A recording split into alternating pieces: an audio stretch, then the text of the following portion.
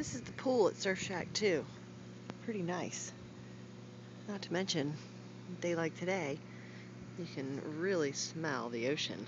It's right over the dunes, right up over there.